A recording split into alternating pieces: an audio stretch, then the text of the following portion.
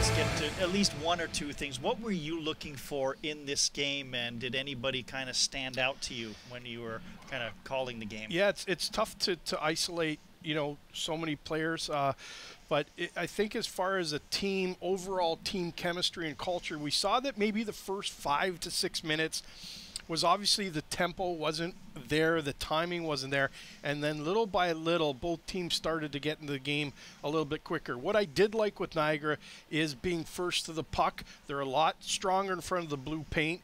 Um, the pursuit of the puck getting in the open spaces and getting quality opportunities. All little things that I've seen a huge improvement so far in this first preseason game. One more preseason game for Niagara, and then London in that home and home will have the home opener on. I believe it's the 30th, Saturday the 30th. Boy, there's nothing like unwrapping a new season, even if you're coming off a season in which things clearly didn't go your way, like Niagara had last year. For sure, it, it's just it's a fresh slate and of all the teams in the OHL you could square off against the London Knights, fans get excited about that. Players get excited because the Hunter brothers have brought that stability to the league, and, and what a what a franchise they have in London. And players, it's one of those things they love to play London because they hate London so so much. They want to beat them. They're a tough team every season. It's going to be exciting.